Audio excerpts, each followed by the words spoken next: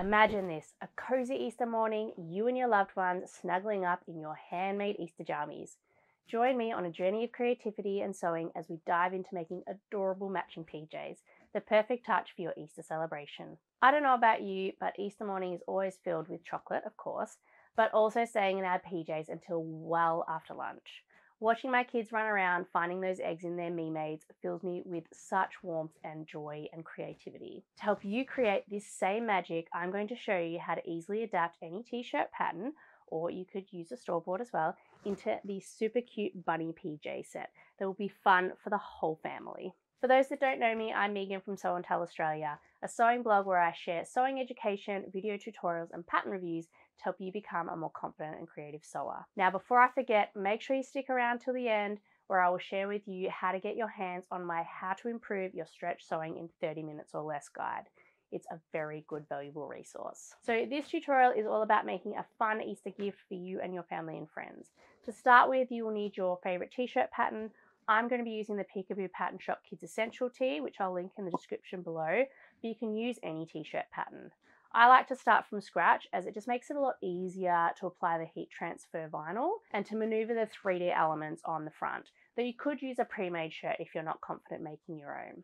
For the PJ bottoms, I have used the Patterns for Pirates Walk the Plank PJ pants, which is free, which is always nice, and comes in both adult and kid sizes. So I'll make sure I link that one below as well. The fabrics I'm using are a woven fabric for the bottoms, which was lovely gifted from Frankie Bear Fabrics, and I also used it in the ear accent. I'll make sure I link Frankie Bear's details below.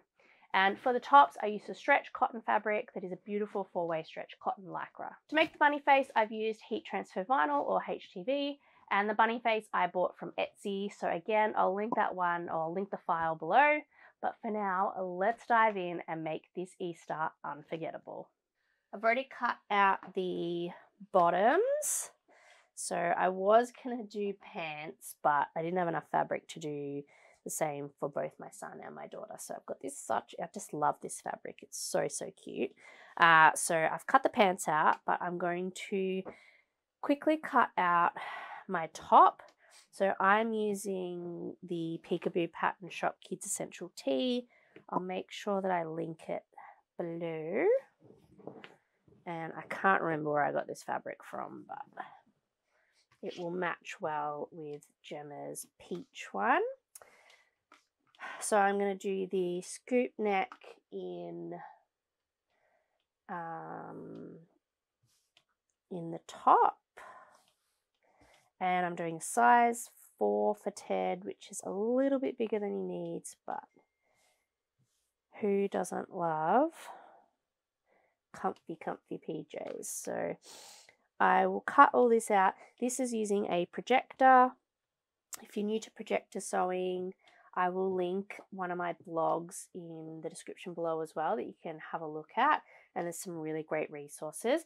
Um, I also have a galvanized steel mat under here, and these are magnets. So this is my favorite, favorite thing to cut with. And I'm a big fan of a rotary cutter too. Again, I can link all these things below. You can always check out my resources page which has a lot of this stuff as well. But I will finish cutting out the top and then we can get started with personalizing it with our really cute bunny motif. But that's the first bit done. I love my projector, so my projector. So I'll finish cutting all this out and then we can get moving on with the personalizing. I've cut all my pieces out now. So I've got my front, got my backs, my two sleeves and my neckband. I've also cut just two long bits that are going to be the ears. So I'll put them aside for the moment because I want to do my face. Now, what I first am going to do is check sort of how wide I want the face to be. So I think I probably want it about five inches wide and then whatever that kind of works out to be height wise I'll be happy with. So I'm going to take um, take you over to my cutter and we will cut out the five inch wide design. Got my design up here. So I've highlighted it and I want to make that a width of 5 and that brings it to a height of 2.6 which will be fine. So now I'm just going to bring it down to the corner. I've got my uh, mat here. We're going to go shiny side down and just place it in the corner. And I'll load this one up. I love how easy the HTV is to personalize everything. Like it's just, it's so fun. And watching it do it all, it's very satisfying. That's all done, so I can unload it. And now I'm just going to weed it. I like to put a, it's called an auto weed box around it so that it just does this, you know, cuts a, a rectangle around it. So if you did have a bigger piece of vinyl, you're not wasting it. Like it, it cuts it around the design so you know exactly where it's going to be. So I find that really handy. And so I will now cut around that and let's take it back to our front and we can make sure we're happy with where it's sitting. I like to use these acrylic guides that I got off Amazon. I will link it below, but they're just really handy for sort of finding out the best place to place your cutout. So I'm using the toddler version because obviously my son is a toddler. It looks really cute. Let's make sure I don't have any other bits. And then we'll place it down. Just kind of check if we're happy with the placement. Just move it up a tiny bit. And then what I'm going to do is just check what I think about these ears. So I'm going to cut that in half. Just kind of have a little bit of a look. So I think that's probably going to look pretty good. And then all I did for the ears was just cut an ear shape basically. So I made sure I had like a bit of a, a rounded tip. Cute little bunny shape. So then all I'm going to do to make sure I've matched it is lay this one on top. I might even make it a tiny, tiny bit thinner.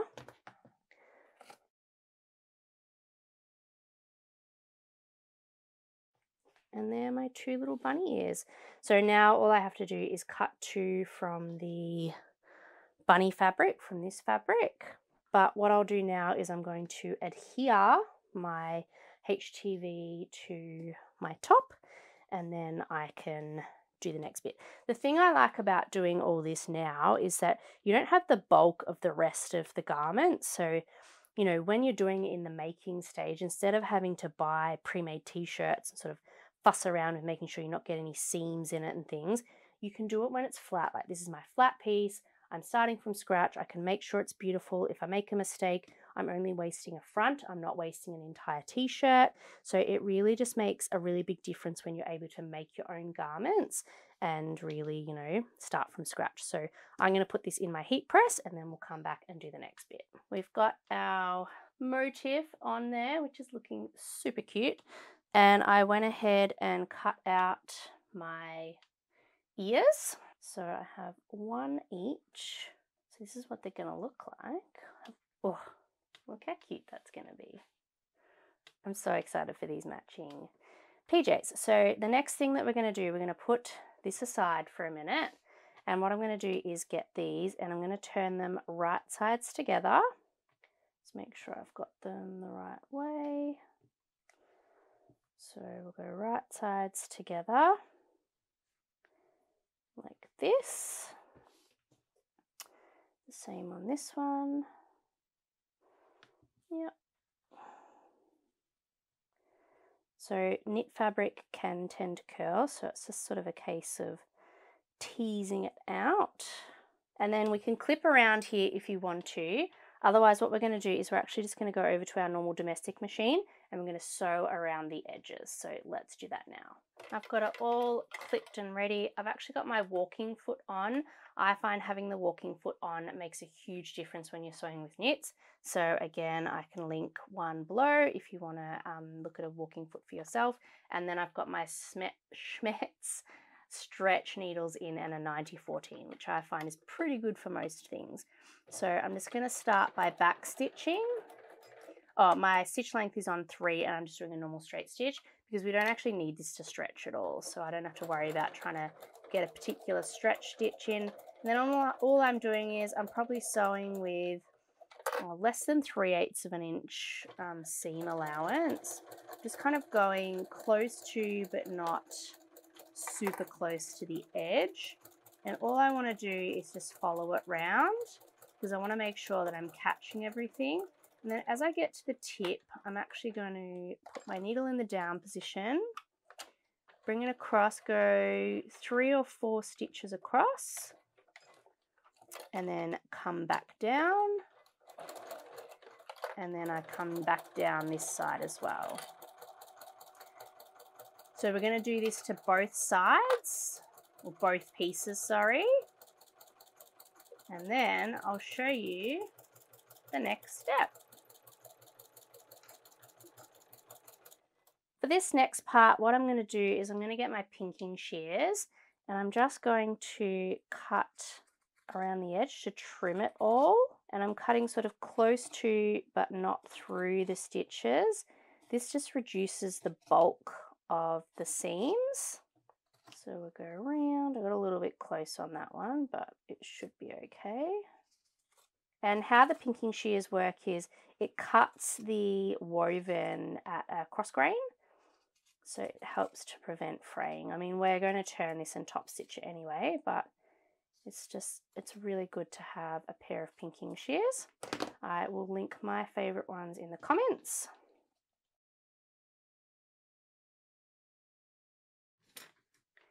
Now I've got a chopstick, handy chopstick, and all we're doing is turning our ears the right way.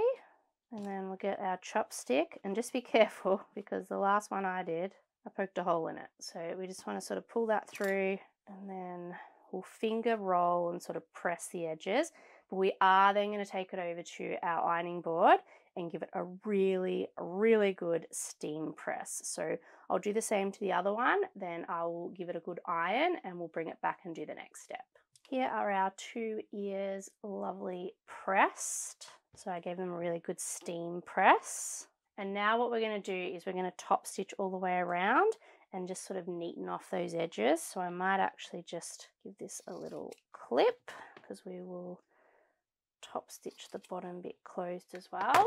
And then once we've done that, we can bring it over to our front panel and start to work out where we want our ears. But it's starting to take shape pretty quickly. Same as before, I've just got it on a stitch length of three. And all I'm going to do, I'm going to back stitch a little bit.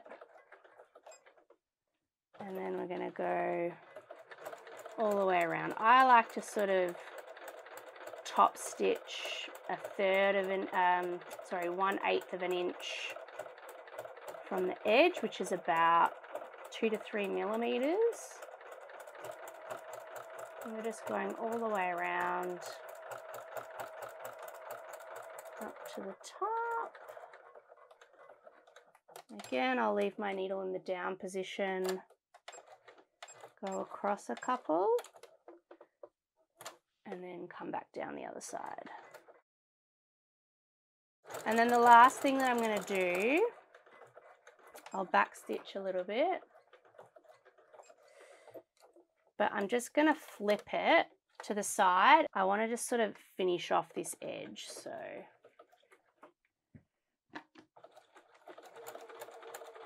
go across, back stitch a little,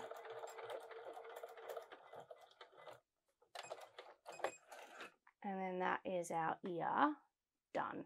So I will do my other one and then we can attach it to our top. To finish off and attach these, what we need to do, you can sort of have a play with roughly where you want them to go. So I want it to be like that, but we actually need to flip it like this. And then what we're going to do, once you're kind of happy with it, you're going to flip them up so that they're on an angle. I'll bring it down a bit so you can see. So we kind of want to flip it up like this, so they're sitting like that. We're then going to pin it down like this. And then you can bring them back down again just to see, you know, if you're happy with how it's all looking still. But if you're happy, we're then going to go back to our machine and we're going to stitch these on here like this and then we're going to fold it back on itself and we're going to do a single straight stitch on the top. So let's go and do that now. Okay, so we're starting on our ear here. I like to do a zigzag stitch and I reduce the stitch length down to one on my machine and I keep the width as five. And then all I'm going to do is just gently start. I'll do a tiny little back stitch. Then I'm just letting the walking foot help feed it through. I give it a little bit of pressure just to help it. And when I get to the end, I'll do a tiny little back stitch as well. So that our ear looks like this. And then we're going to fold it back on itself like so. Feed it back under. And then I'm going back to my normal stitch and I'm increasing the stitch length to three again. And then I'm just going to start on one side, a tiny little back stitch, and then go all the way to the other side, little back stitch. That's our, that's our little ear done. So we've got our little bunny ears done now. So I'm just gonna trim off these threads. And then what I'm gonna do is put this aside and we can start to work on our shorts. But that is our bunny fronts. This is a little bit off to the side. I don't know what happened, but I think it's kind of cute. Like it's going to hang down anyway. And bunny ears aren't really that symmetrical anyway, are they? So we're going to put this off to the side and grab our PJ pants. And the first thing we're going to do with our PJ pants is we're actually going to take it over to the iron. We're going to fold up the hem to the wrong side and we're going to give it a memory press. So a memory press is just when you give it a quick press to kind of give it a bit of a crease and then we will come back and do the next step. Now that I've done my memory fold, I'm going to take my pants and fold them right sides together, lining up the crotch. And we will clip down here. And then I'm going to take this over to my overlocker or serger and I'll serge down this side and I'll do the same to the other side as well. Got my two serged pieces here. So now what I'm going to do is turn one the right way out.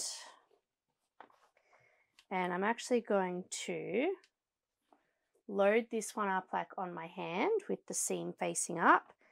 And I'm going to slip it into the other one, matching up my crotch seams so that I've got them right sides together. And I like to nest my seams. So I have one seam going one way and one seam going the other way, just to reduce that bulk. And then we're going to clip and line up the crotch curves. So if they don't line up, then you've done something wrong. So I would just clip along here. And the back curve is always going to be higher because it needs that extra fabric to be able to cover your bum. Okay, so I now have this. I'll just trim these little tails off. They'll get trimmed anyway when we serge it, but just so you can see. So we've got our two legs inside each other, like so, right sides together. And now I'm going to take it over to my overlocker and I'm going to serge around this curve here and then I will bring it back and show you the next bit. All right, so I've serged this here. So now we can pull it all out. We'll have a look. We'll look. Beautiful cross point. And our shorts are starting to take shape. So the next thing we're going to do is to attach our elastic waistband. So I've got my elastic here, which is just some waistband elastic, and I'm going to first um, overlap it and then I will zigzag stitch down here just on my normal domestic machine and then we're going to quarter it and quarter our waistband before we attach the elastic. So I'll quickly just uh, zigzag down here and then I can show you what we do with the quartering. So I've sewn my waistband elastic. Now what I'm going to do is I'm going to fold it in half with the back seam, get a pin and just mark it at the front here.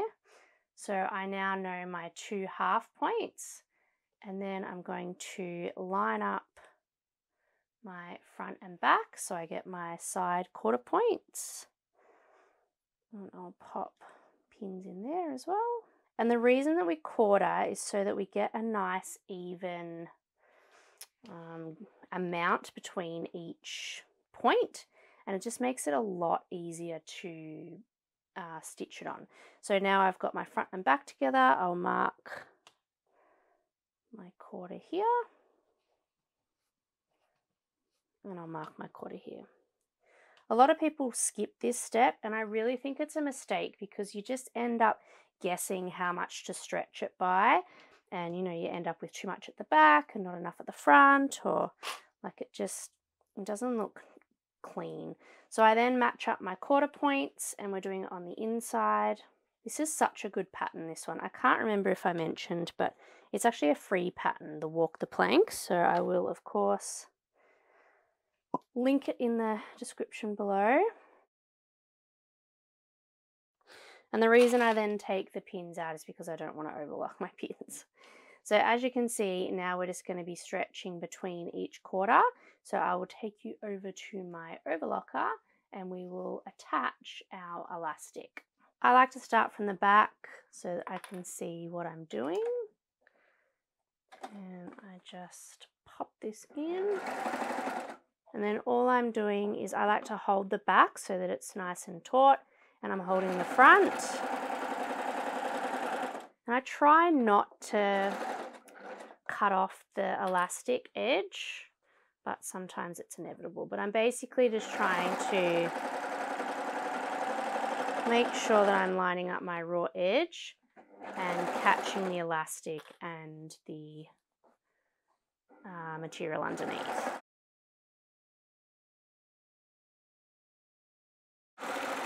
We're done. This next part is pretty easy. We just fold it under and I like to kind of push it up a little bit into, you know, that crease. And then I'm going to sew it from the inside. So I like to put a pin here. And then I'm just kind of stretching it out and finding another point, sort of this quarter point here to put another pin in it. Just helps when you're sewing it. And then I'll match up my front point because I know that is the front. So I'm just folding that over. Again, making sure it's really well nested into the corner, into the top there. And then on this side, I'll just give, out. I knew I was going to do that.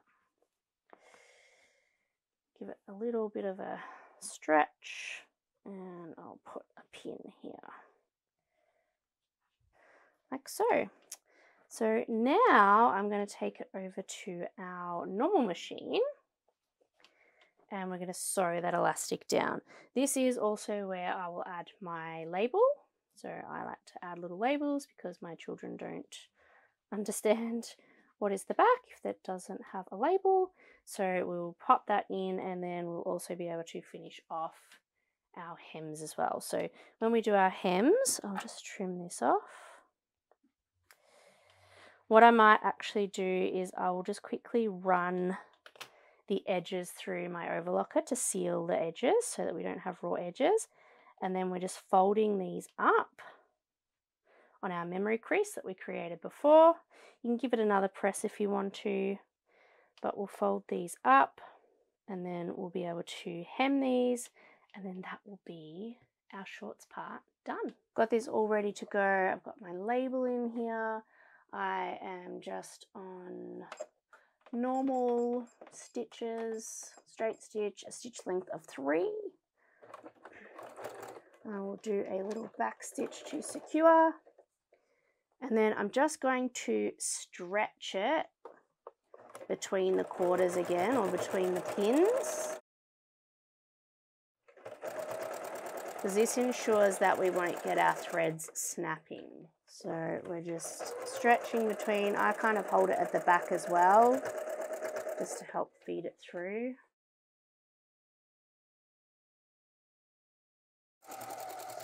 And again, we'll just finish with a little back stitch.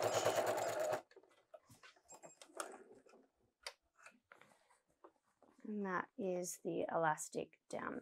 So now I'm going to do my hems. As I mentioned, I serged along the edge and I just gave it a quick press.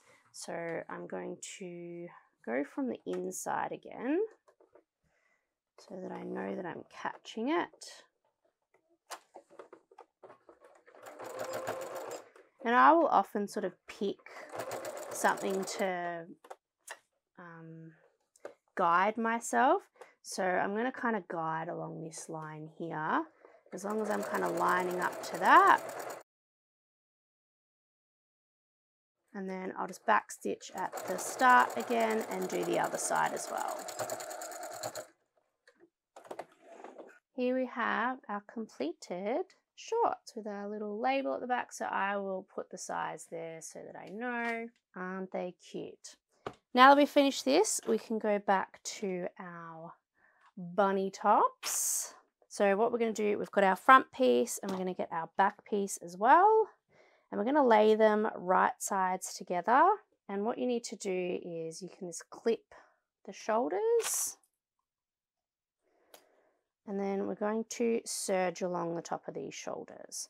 So I will serge these and then bring them back so that we can do our sleeves.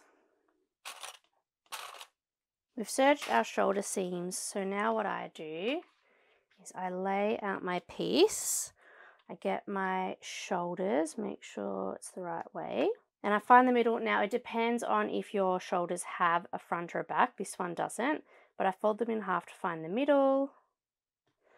I will then line up my middle with my shoulder seam. I like to put a clip in and you've got to make sure you've got your right sides together.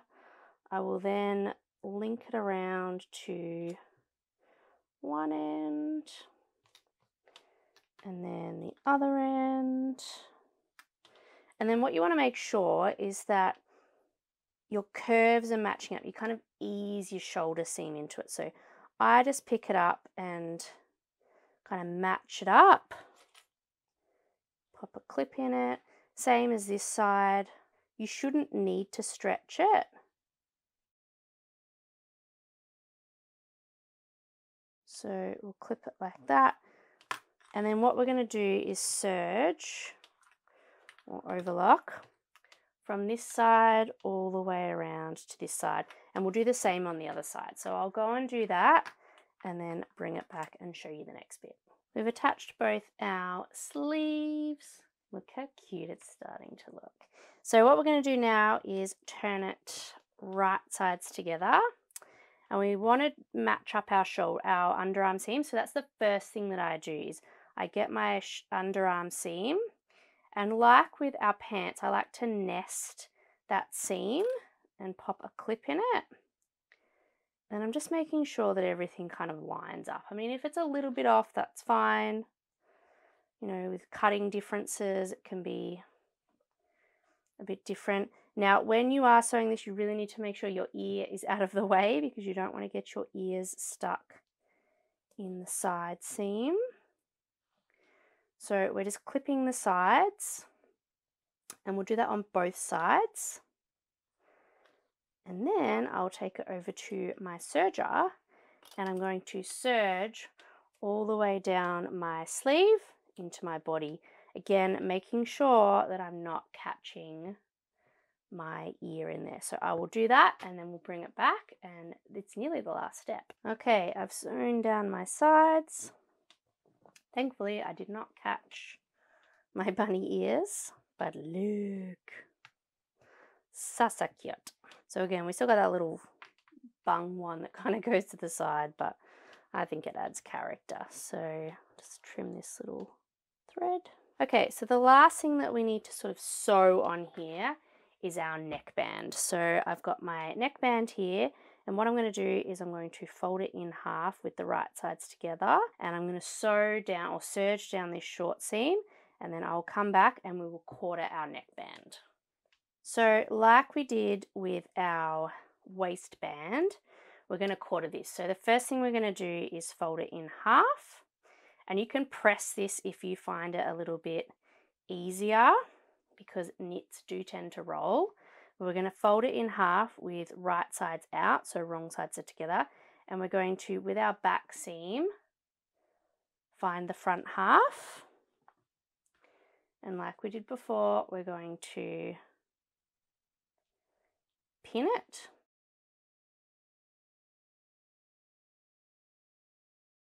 And we're going to line up that front seam and the pin so that we can find our quarters.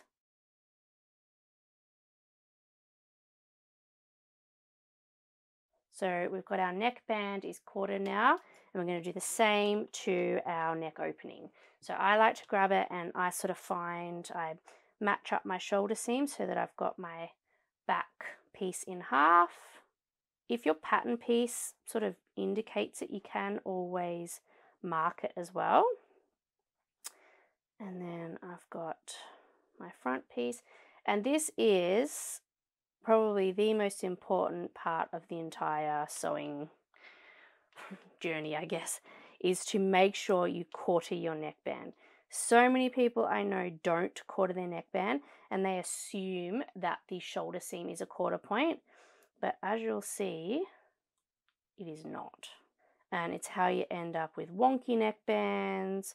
You know, you'll have too much at the front, uh, too much at the back, and then you sort of stretching to make it fit in the front, which just makes it pucker and look awful. Because if you have a look at this, that quarter point sits a good inch in front of the shoulder seam.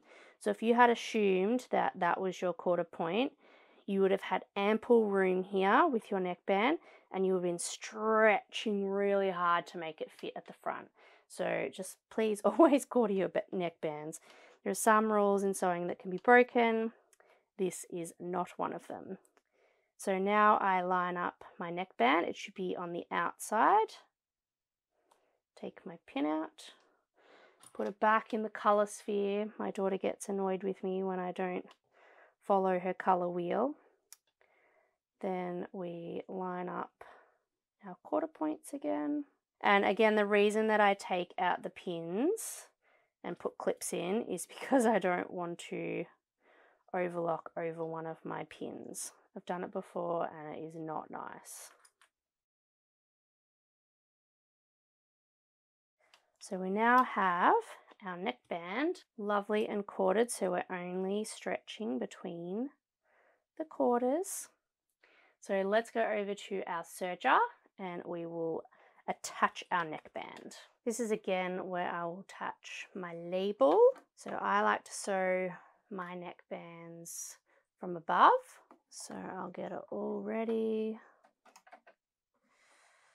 Pop it all under my presser foot. I like to put a couple of stitches on and then I just start to check that I've got it all right. So as long as you have three raw edges aligned, you are good to go.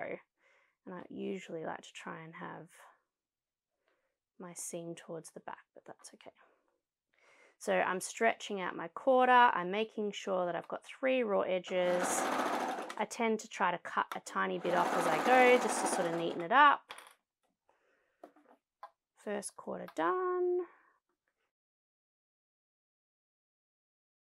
Lining all these edges up.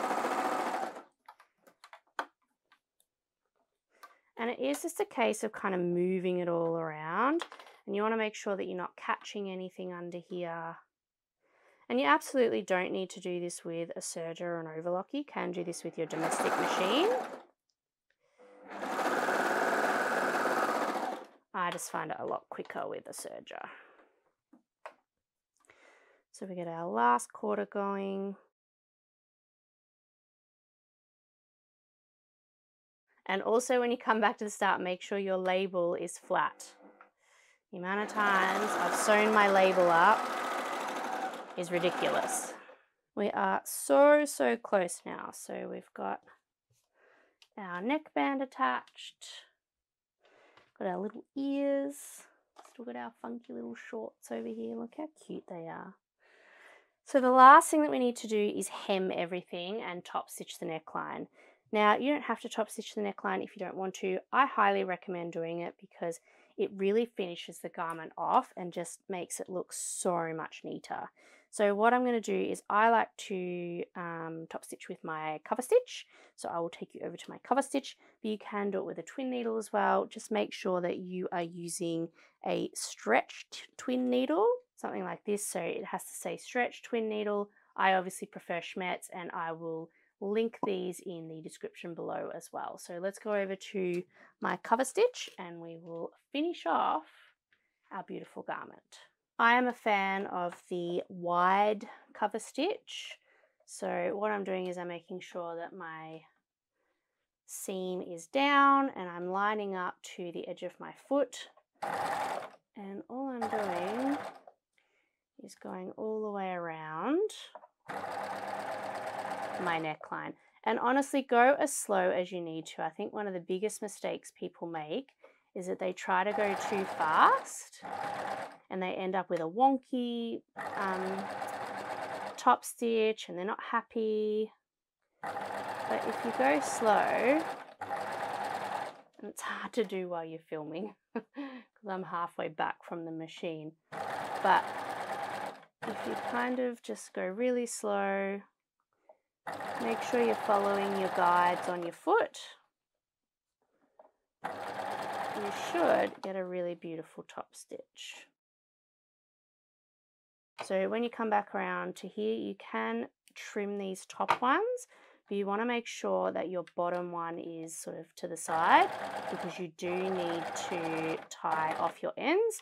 So we just go a couple of stitches over.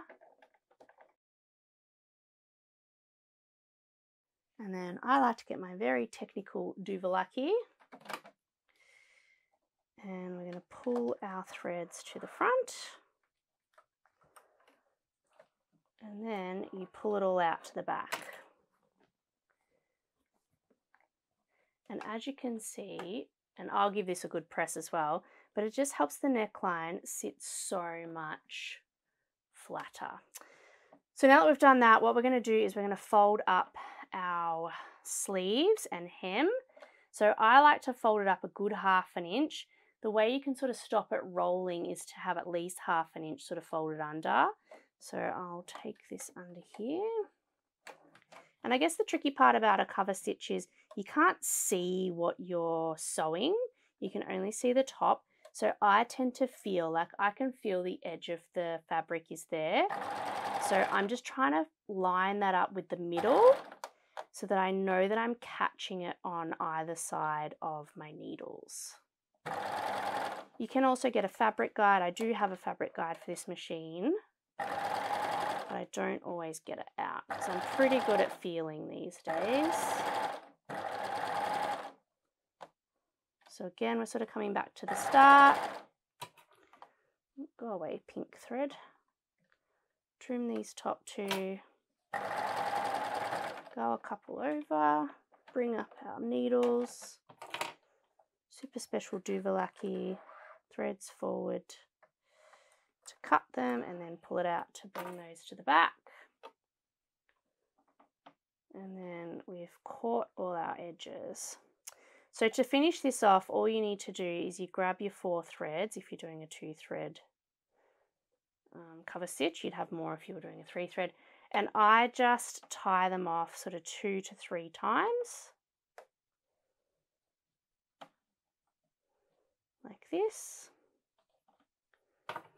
Clip it near here. And that is your hem done. So I will do the other sleeve and the bottom and then we can have a look at our final garment. And here we have the most adorable little gift set with matching shorts. All ready to match his sister. I hope you've enjoyed learning how to sew your own matching PJ set and I hope this video has given you the confidence to go out and try. Now for the bonus. If you have trouble sewing stretch cotton, also known as knit fabrics, click the link below to get my free copy of my guide, Improve Your Knit Sewing in 30 Minutes or Less. This easy to read guide has practical and simple steps you can implement into your sewing today. So make sure you grab your copy now. Thank you for watching. If you have any questions, you can pop them in the comment box below. And if you want to find me in the virtual world, my socials are listed on screen and also down below in the description box. Don't forget to hit that subscribe button so you can get all my tutorials and sewing chats. I look forward to seeing you in the next